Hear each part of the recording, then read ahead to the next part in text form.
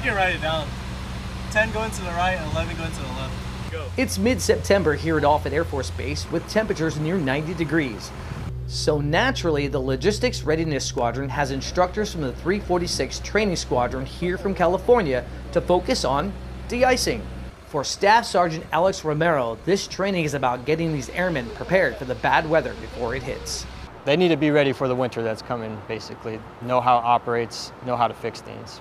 In order for them to better understand how to fix these vehicles, a vital part of their training is learning how they operate.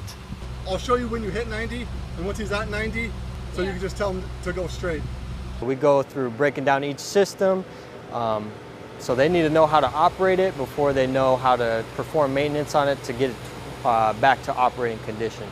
Well, I mean, when I got past 50, I was I was like, wow, this is this is a big change. And when I could see my dorm, uh, it was a lot of fun actually. Yeah. So every time we do work on these, um, I do actually get I, I, get pretty excited.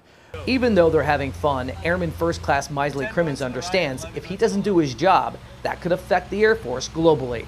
Let's just say we weren't able to work on the de-icers in, like in general, um, then we wouldn't be able to send any aircraft out and without any of our aircraft being able to leave our base to complete their missions, it would essentially impact the, the Air Force as a whole.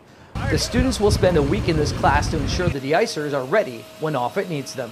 And Staff Sergeant Romero says this is the time of year to make sure that all the vehicles here at Offutt Air Force Base are getting winterized, to include the trucks, snow plows, and other snow removal equipment. It's not just the de-icers that help us continue the mission.